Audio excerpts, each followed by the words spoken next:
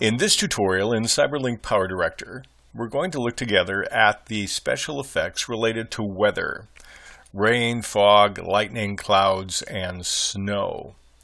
What I have in my first track is an image of a river in the fall, rather dark, rather brownish. And then I have another image, another video. This is of a winter scene, so we're going to look at that with the snow effect. So I'll go ahead and uh, begin at the very first part and then we'll apply these to these two video clips. To take any of the effects, you go to the effect room, which is your F4 key or FX on the left side. And then I've chosen the subdivision called particles.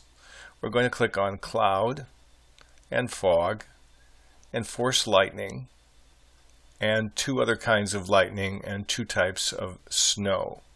And what I've done is I've taken these effects and, and I have moved them to my effects track below these two images. So we'll go ahead and close that down. And now when I start to play my movie, we'll see how the effects work. The first one I have selected here is the one, let's click on movie here, is the one called Rain. Now rain isn't too bad. It looks a little bit uh, normal here. I'm going to pause that for a second and show you what you can change about it. If I double click on the effect, I can change the density of the rain and the direction. The default is 100, which is pretty much straight down. If I move it to the right, it blows to the right with increasing frequency or to the left. Let's change the density a little bit. Uh, and this is all you can do. So I'll click on the um, the X to close that and we'll go ahead to the beginning of the clip and we'll play that again. And there's what I have in terms of rain and density. Not bad. Almost looks like it's like it's real. I like that one for realism. The next one we're going to look at is fog.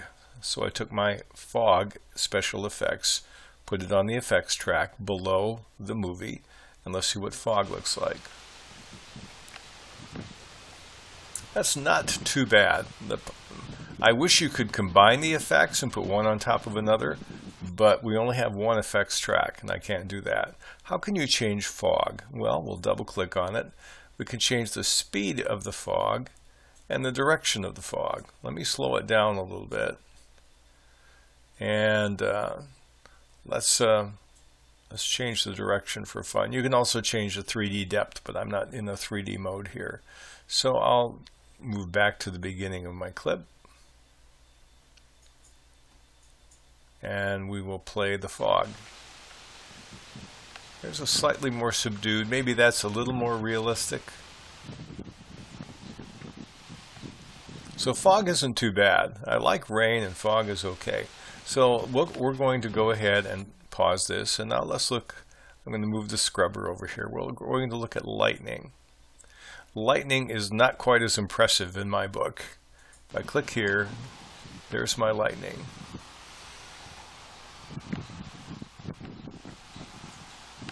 And I find that a little fakey. If you double click on lightning, there's a few things you can change. You can change the size. You can change the location, the X off, uh, X and the Y. And that's about it. You can move it up or down. Of course, you don't want it to start at the bottom. So you can actually move it off the screen. And uh, let's see what this looks like when we uh, go back to the beginning of this clip and try the lightning.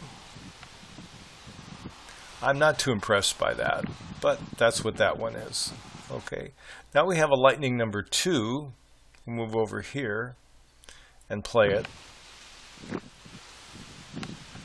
This is a little bit more realistic, although it's it's uh, quite large. Let me double click on this. You can change the core color. You can change the glow color. I don't see lightning in blue a lot, so I'm just going to maybe pick a almost a gray here for my other color.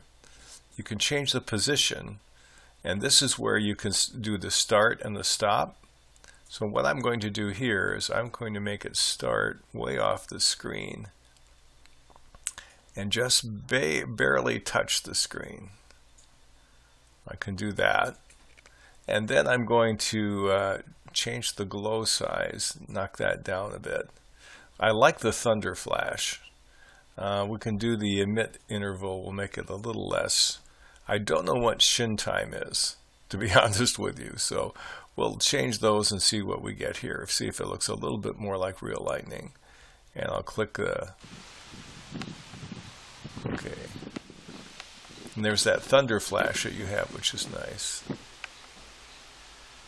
Okay, that wasn't so bad. That was a little bit more realistic, but it still looks a little fakey in my in my eyes. So you might want to use this judiciously. You can actually turn it down and just use the thunder flash part, uh, which probably would be more realistic. The next one is called forced lightning.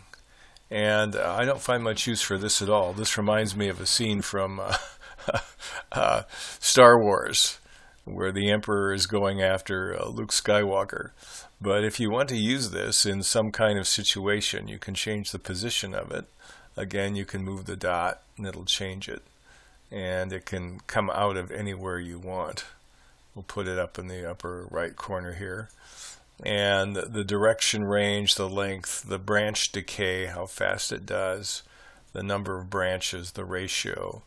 Um, so you can go ahead and do all kinds of things with that one. It's got a lot of variations, but I don't know if it's all that useful. It'd be more of a sci-fi thing, I believe, if you wanted to use it in that environment.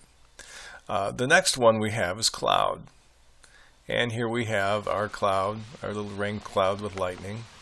Um, I don't find this very realistic. You can change the location with the X and Y. We can bring it up. We can move it to the left. You can change the size of the cloud to something pretty small to something larger. Um, but in terms of realism, I don't find the cloud all that helpful. Uh, it looks uh, very fake here. But you might use it where you want a fake cloud. Let's look at the last two weather effects. The next one is snow. And here we have our snow coming down. Again, it, it doesn't look uh, realistic to me. But there, I found one way to make it a little better. If I double click on snow and I turn the size down very small, two or three, and back here two or three. Let's see if I can get it smaller. Uh, okay, so it's a, I've got a three density, and uh, let's change the density down a little bit too, and then I'll uh, close that. So now we'll go ahead to the beginning of this clip. We'll play it again. And I've got just a, a trace of snowflakes here. And in this case, it looks it looks like uh, it might be real. Now, that's the first kind of snow.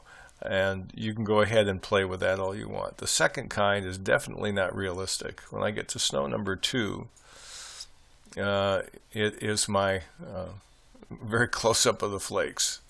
And that's why I put a red background here.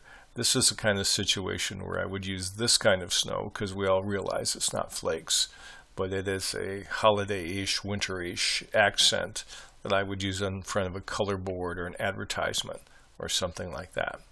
So th this is a summary of the weather effects in CyberLink PowerDirector.